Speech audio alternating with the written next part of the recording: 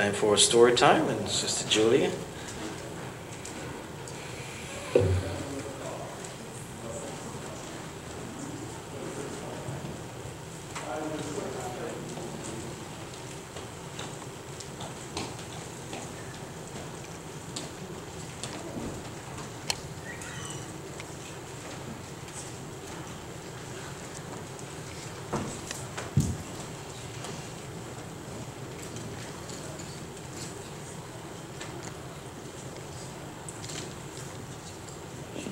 Yeah.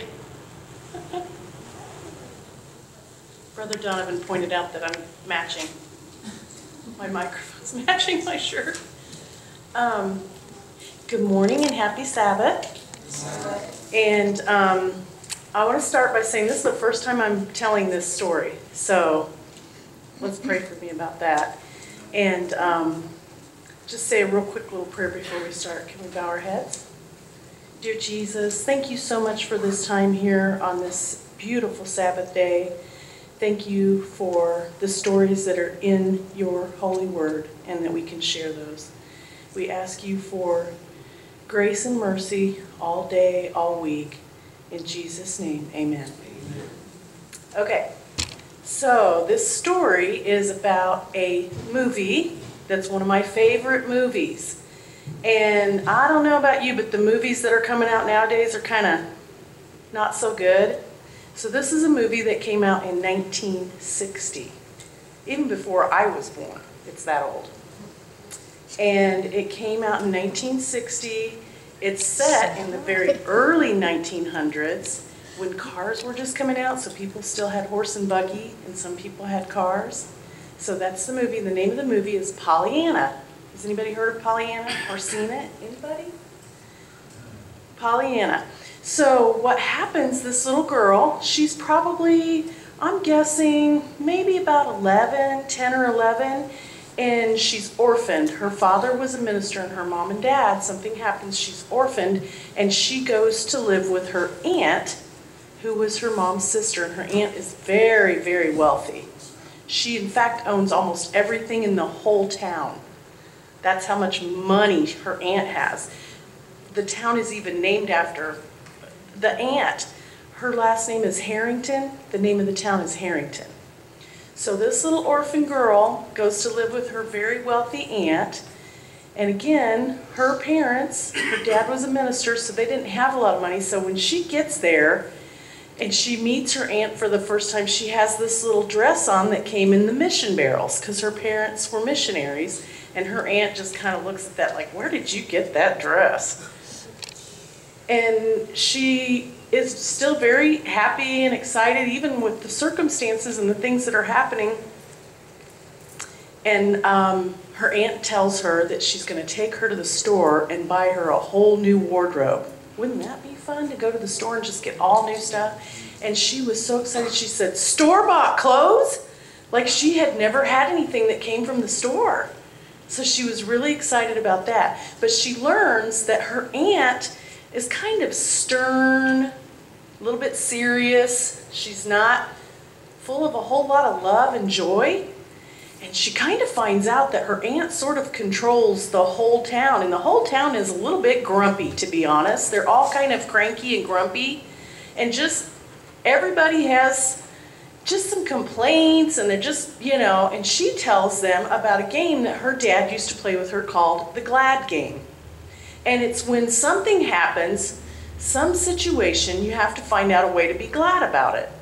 So she had requested a little dolly in the mission barrels when they were missionaries.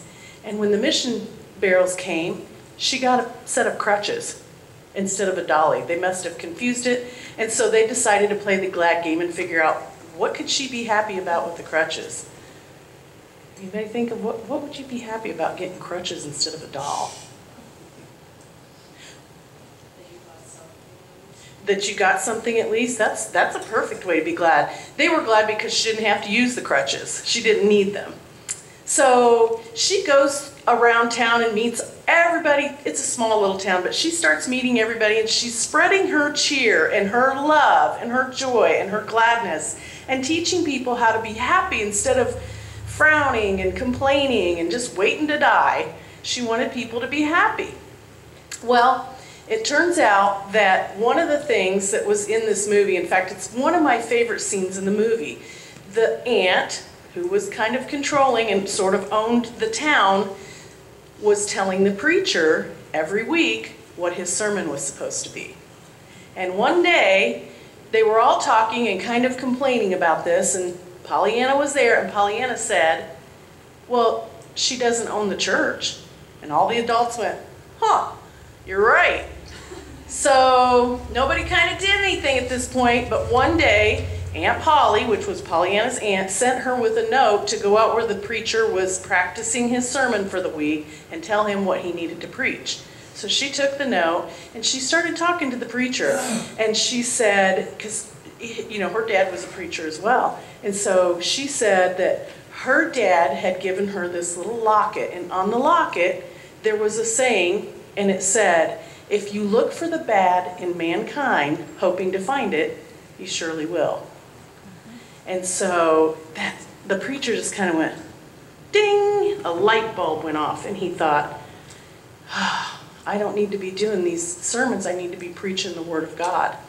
And she told him that her and her father, in playing the glad game, remember we talked about the glad game?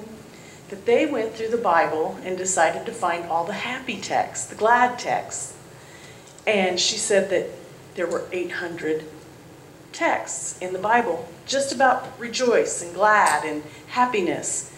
And the next day, they show the preacher preaching his sermon, and he said he told the story about her coming out there, and that she said there were 800 glad texts. He said, in fact, there are 826. He said, I know because I stayed up all night looking for them. And so he said that 52 weeks in a year, it would take 16 years to go through a sermon a week about just the glad texts in the Bible. I want to share with you my favorite text in the Bible, which happens to be one of the glad texts, and it's in 1 Thessalonians 5, and it's verse 16. Do you want to read it? It's real simple. Rejoice always, pray without ceasing, in everything give thanks, for this is the will of God in Christ Jesus for you. Yes. So I thought what might kind of be fun is if maybe every week when we're at home, we can look or search for at least one glad text every week. And then when we come to church on Sabbath, we can all talk about which glad text we found. Does that sound like fun? Maybe one, just one day a week, find one happy text, something that says rejoice or be happy or something about being happy. You think we could do that? Yeah. Amen. So, would somebody like to close with a little prayer?